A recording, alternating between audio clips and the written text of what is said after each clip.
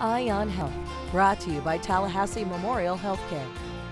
One in 10 babies born in the U.S. will spend time in a neonatal intensive care unit, or NICU, before they're ready to go home. But many parents won't know if their child is in that 10% until they arrive. Tallahassee Memorial is home to the region's only Level 3 NICU and also Level 2, so your baby is in good hands no matter what happens. Monica Tucker is here to tell us more. Monica, which babies need to go to a NICU?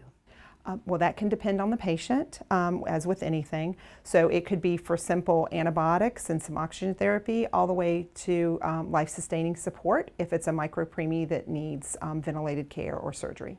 Explain, if you would, the difference between a level 2 and a level 3 NICU. A level 3 NICU is a critical care, intensive care NICU. Um, that's where your babies that are born especially early, what we call your micropreemies, would go. They may need to be on the ventilator, may need surgery, um, a lot more support and medication.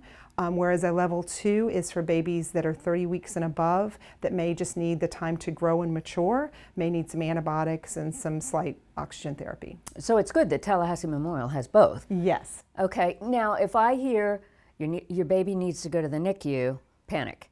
No, you shouldn't panic. Um, all we're trying to do is make sure that your baby is as healthy and happy as possible before you take them home.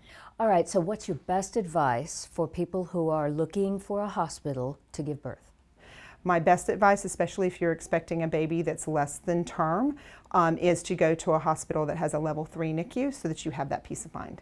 Great advice. Thank you so much. Thank you.